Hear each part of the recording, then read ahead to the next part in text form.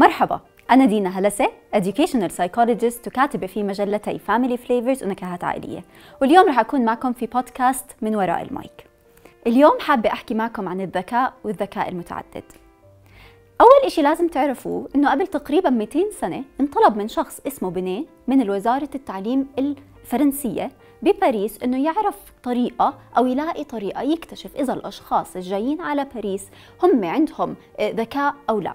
وهل رح ينجحوا اكاديميا أو لا؟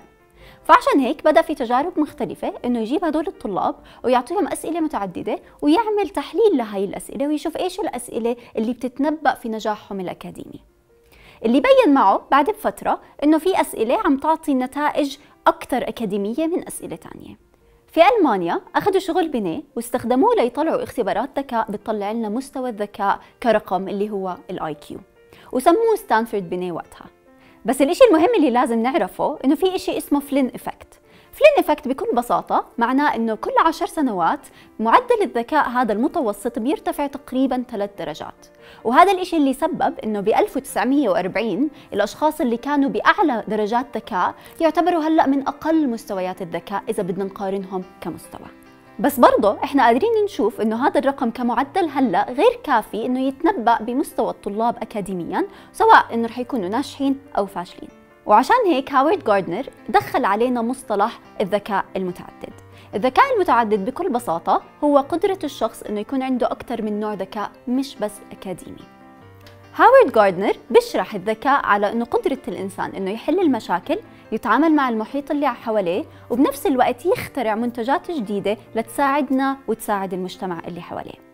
وقسم أنواع الذكاء لاكثر من نوع، عندنا الذكاء اللغوي والرياضي اللي هو المنطق خلينا نحكي أكثر، هدول النوعين الذكاء الأشخاص اللي عندهم إياه عالي بيكونوا اكاديميا ناجحين، نفس الوقت عندنا الذكاء الحركي فالأشخاص اللي بحركتهم بجسمهم عندهم ذكاء مثل مثلا اللاعبين الرياضة.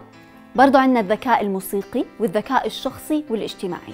الذكاء الشخصي بيرجع لقديش أنا بقدر أفهم حالي من جوا وأقدر أحلل مشاعري والذكاء الاجتماعي بيساعدني أنا أفهم الناس اللي حوالي وأقدر أحلل الشخصيات اللي حوالي.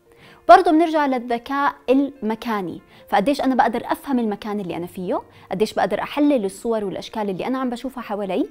مثلا هندسة العمارة بشكل عام تحتاج هذا النوع من الذكاء بشكل أكبر من المواد الثانية ما في اثنين في العالم عندهم نفس مستوى الذكاء أو نفس طريقة التفكير لأنه كل واحد فينا عنده قدرات مختلفة عن الثاني وهذا الإشي بيرجع لأنه إحنا كل مهارات الإدراكية اللي عندنا بتكون مختلفة حسب الشخص وحسب القدرات. فمثلا إذا بيكون عندي التحليل الصوتي عالي كتير بنلاقي الذكاء اللغوي عالي وغيرها من هاي القدرات بتأثر على أنواع الذكاء. بس الإشي الكتير مهم إنه نعرفه ونوضحه إنه هذا الذكاء مش ثابت وإنه مع الوقت إحنا بنقدر نطور ونعيد تشكيل دماغنا كل ما نحط جهد أكتر ونتعب بالشغلة. فلما نجرب إشي جديد ونتعب فيه ونحط جهد إحنا عم نزيد من الذكاء اللي عندنا ومنطور من دماغنا. إذا بتحبوا تعرفوا أكثر عن الدماغ والعقل تابعونا في بودكاست من وراء المايك بالتعاون مع Family Flavors ونكهات عائلية.